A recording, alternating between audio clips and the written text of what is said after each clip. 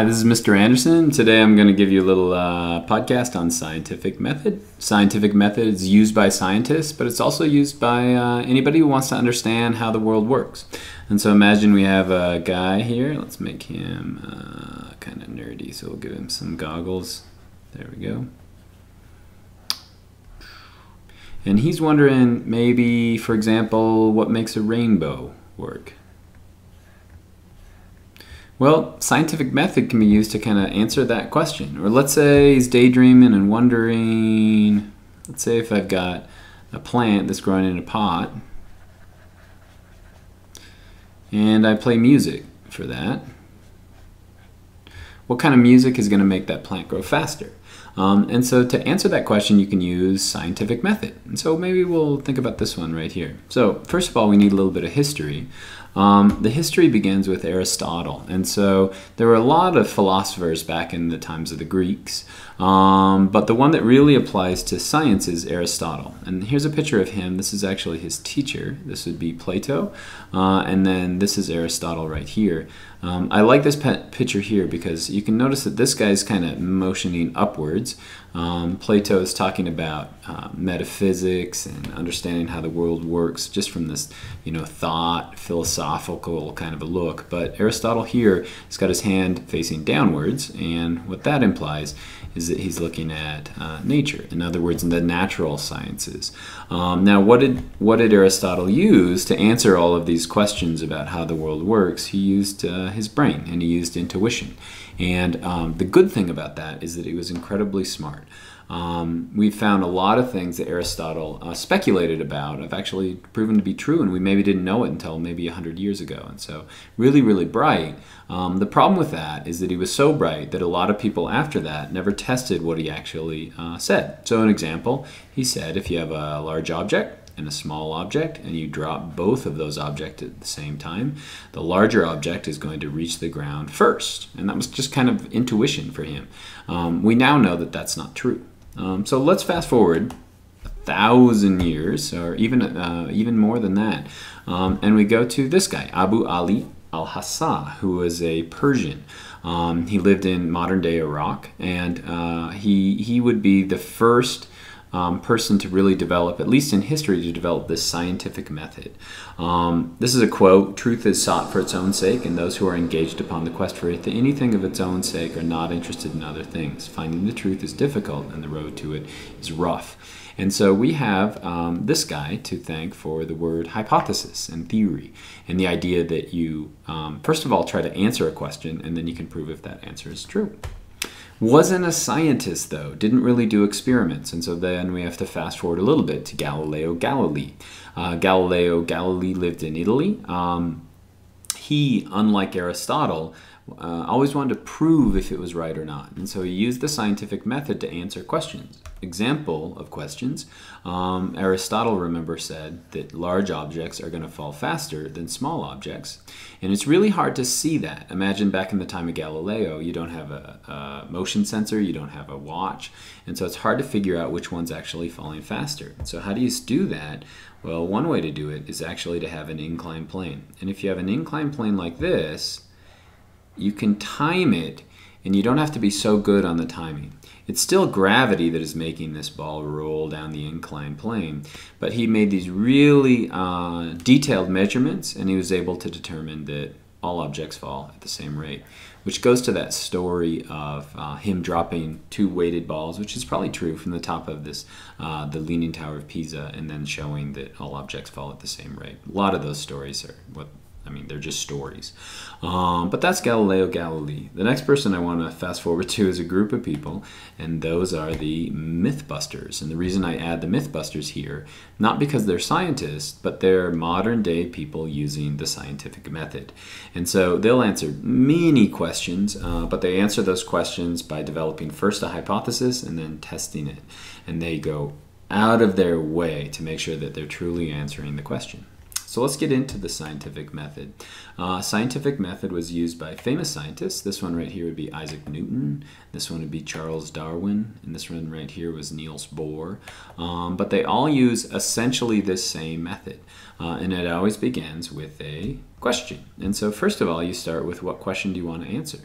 Uh, and so an example we could say right here is, let's say we have a plant and that plant's growing and we're going to play music for it and we're going to play different types of music. And so maybe our question is what type of music is actually going to make that plant grow best? So now we make a hypothesis. Uh, maybe I'm, I'm uh, of the mind that country music is going to make that um, plant grow fastest. And so that would be my hypothesis. Now, we sometimes refer to as a hypothesis as an educated guess, but in scientists, that's kind of a misnomer. Um, it's not so much a guess as we know what's going to happen, we just have to prove it. Doesn't mean that our hypothesis is always correct, um, but we start with a hypothesis, which is this idea of what we think might happen. Next up is an independent variable. And so in an experiment, the question will always tell you what the two variables are. And so listen carefully as I say that. I want to determine how the type of music affects plant growth. I don't know if you heard that, but there are two variables inside there. One was the type of music, and the other one is plant growth. And so if we go to independent variable, the way that I talk about this in class is the independent variable is the variable that I change. And so I change the independent variable, it's the one thing that I manipulate, and so that's that first variable in an experiment. The dependent variable then is a resulting variable. In other words, it results as an action of the independent variable. So if we go back to that question again, how does music affect plant growth? What's the independent variable? It's going to be the type of music that I play. What's the dependent variable? That's going to be plant growth. So what do we got down here? What are controlled variables? Those are everything that we keep the same. And so in this experiment, what are some things that we'd want to keep the same? Well, the species of plant would be one thing, maybe the amount of light it gets, the amount of water it gets, the nutrients it gets, the volume of the music, the amount of time that we play the music. And so there, those are all going to be the control variables, everything that we keep the same. And the trick is, if we don't control all the variables, in other words, if we have a few variables that change, not only the independent variable, then we can never know if we actually show that that independent variable has any effect on it. Okay, let's go to the next ones then. So what do we do next then? So this is a great picture right here. This is actually Einstein, and this in the background is another really famous astronomer. His name is Edwin Hubble, and so the Hubble Space Telescope is named after him. And what he was famous for was measuring the redshift uh, in the universe, this idea that the universe is always expanding.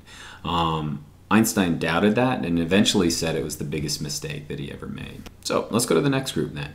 What's a control group? So thinking back to that experiment with the plant, well, not only would we have one group that we are actually taking those plants and playing music for, but in a totally different room, we're going to have another group of plants, and those plants in the other room are going to receive no music at all.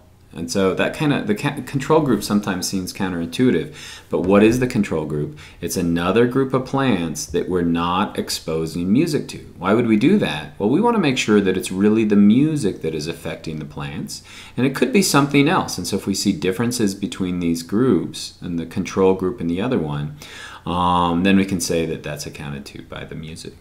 Next, we collect data. Data usually is collected in a data table, but it's always organized in a graph. Um, when, in, when you do a graph, a thing to remember is that the independent variable will always go on the bottom and the dependent variable is going to go on the side. Um, if we're doing plant growth, maybe that's going to be a bar graph where we've got independent variable are the types of music and we put those on the side and the dependent variable is going to be amount of plant growth or maybe it's going to be a graph like this where we're changing something maybe the volume of, of the music over time and we're looking at plant growth uh, should say plant growth and we're getting a graph that maybe looks like that's getting a little bit of messy Okay, so what is our conclusion? Our conclusion is going to address that question. And so conclusion is looking back at the question saying, hey, is our hypothesis correct or is it incorrect? The next thing you have to do, as far as science goes, is you have an obligation to publish the results of your experiment. And we do those in uh, primary research. We do those, excuse me, in some kind of a scientific journal. And so when Watson and Crick discovered the structure of DNA, the first thing they did is they wrote it up uh, in an article in Nature. And what that allows other scientists to do is to repeat their experiment, and that's how science builds itself. And so if you've ever wondered how a science book is made, a science book is made by scientists.